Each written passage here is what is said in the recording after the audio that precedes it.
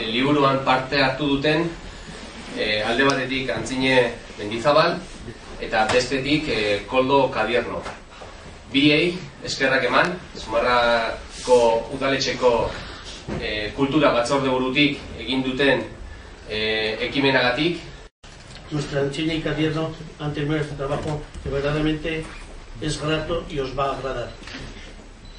Apenas cuesta trabajo hablar de los caseríos en la historia de nuestra población zumarra.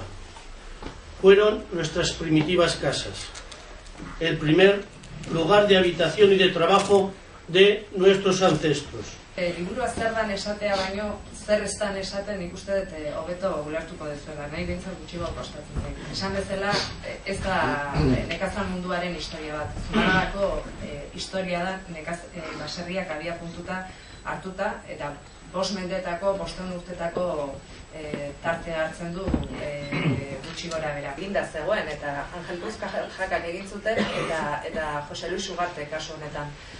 Nik gehiago egin izan detena da, liburu hauetan e, datuak e, aurkitzen saiatu nahi. Eta datu hori e, kontestualizatzen eta testu inguru ulergarri baten jartzen e, saiatu nahi. Hau da, e, datu konkretu batetik historia orokorrera jode, Zumarragako historia da eta kasu askotan Euskal Herriko historia da eta beste batzutan Europarako historia. Honek ematen digulako, ba, e, gauza isolatu bat gainditu eta beste testu inguru askoz ere handiago baten e, kokatzen e, gaitulako.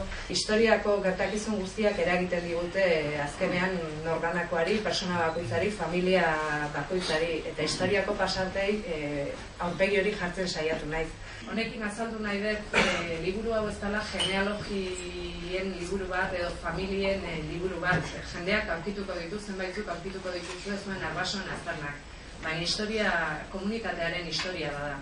Ale egin du gera, baserri gehienak e, ba, biltzen beren efer, referentzia egin ez. Nik uste, egun bat guztira bildu ditugula, gehienak e, marrazkiekin, Eta, bueno, desarartutako batzuk ere berreskuratu ditugu, eta beste batzuk, ba, ba hor gelditu dira desaratuta, baina nik uste sorta erra e, ditu degula. Eta esan baita ere, liburu honek merezi duela aurkibideari begirada bat ematea, alde batetik aurkibide batean baserri guztien e, izenak eta ipamena daude, baina baita ere badago gaiekin lotutako beste, beste aurkibide bat.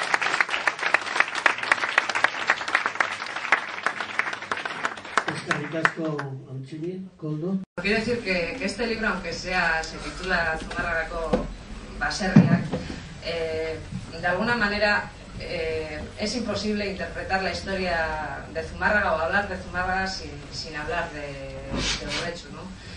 Y bueno, creo que este libro también da un punto de vista, bueno, quizá también un poco atrevido, que nos hemos eh, atrevido a hacer de lo que pudo ser la historia de, de y de Zumárraga.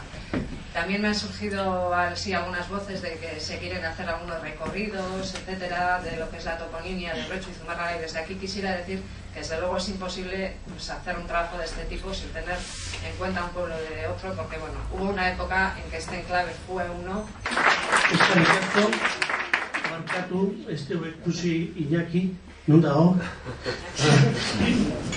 Bakizu, eh, lehenengo alkatea aurretxukoa, sumarrakoa zan, eh?